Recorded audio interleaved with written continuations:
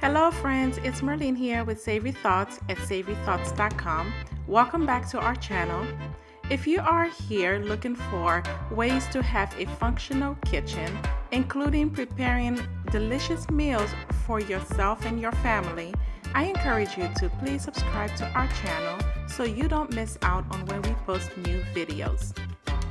Now, in this video, we will be making this delicious Spanish empanadas. So let's get to it.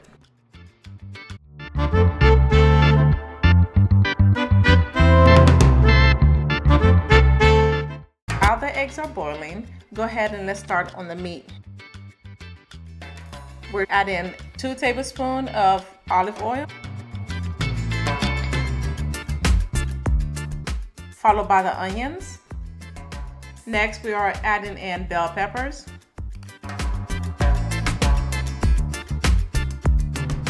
After adding in the bell peppers, allow it to cook and soften.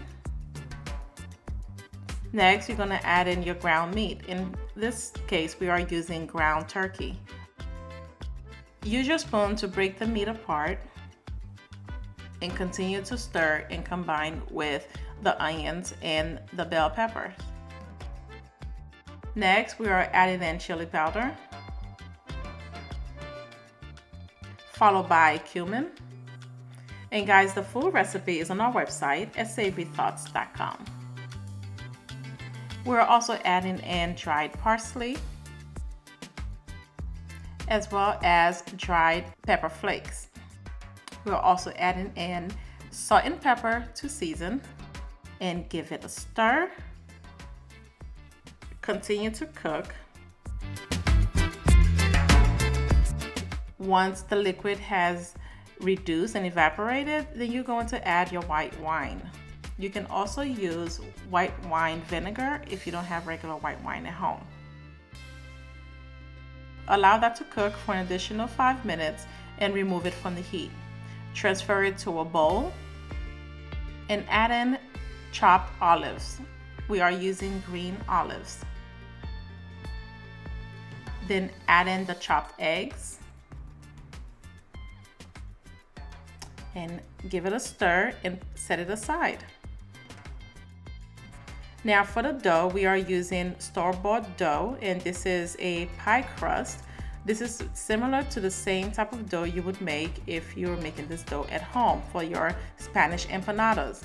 So the recipe is on the website at savorythoughts.com with full ingredients and measurements of how to make the pie dough. Roll the dough out completely. Lightly dust with all-purpose flour on both sides. This will keep it from sticking to the cutting board.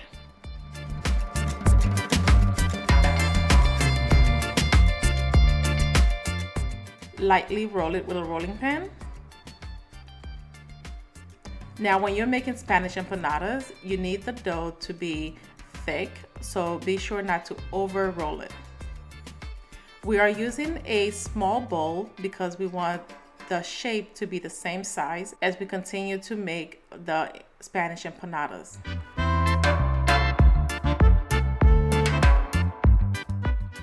Remove the dough from the bowl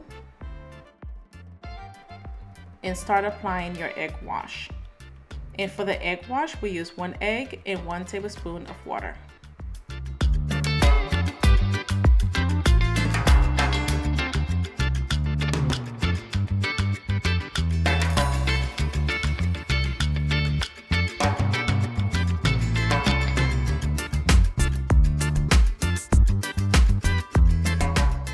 Apply the egg wash on the ring of the dough all the way around. Once you are done applying the egg wash, then add in the filling in the center. We are using a tablespoon to help us so that way all of the filling is about the same size. Be careful so you do not overfill as you do not want the pastry to fall apart. So next, use your fork to help guide you and fold one half of the dough over to the other half. Using your fingers, press down to seal.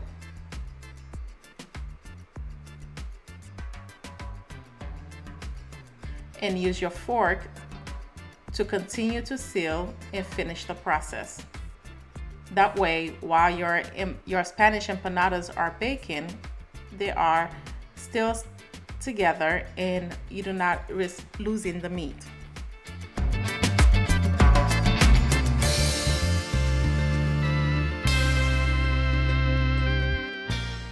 Continue with the next one until you are done with preparing the dough for the Spanish empanadas.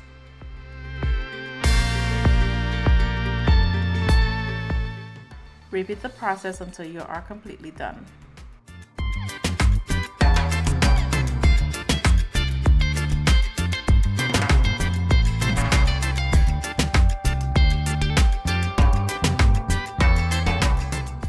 Next, take your dough and set it aside on a cookie sheet or a baking tray. Feel free to line it with parchment paper or if you have a non-stick version that will work as well. Apply the egg wash to all of the empanadas. Place in the preheated oven at 350 degrees for 20 to 25 minutes. And now we are moving on to our sauce.